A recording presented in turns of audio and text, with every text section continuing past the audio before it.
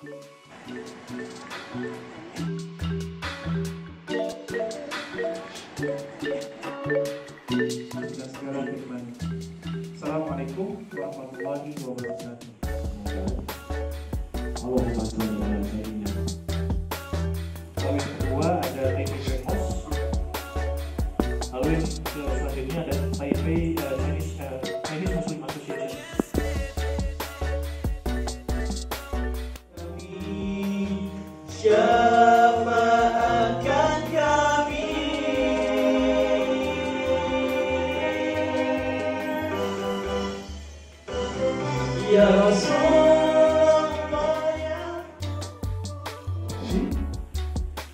Itu perlu diikuti bahkan juga mengandung yang namanya ketentuan hukum-hukum syariat di dalamnya.